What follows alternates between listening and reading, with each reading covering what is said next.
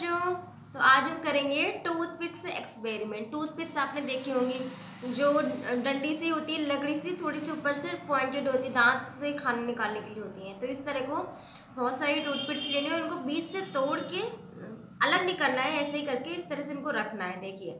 जिस तरह से ये चारों तरफ़ सर्कल में रख रहे हैं, इस तरह से सेट करके रखना है इन्होंने। कितनी रखी? एक, दो, तीन, चार, पाँच।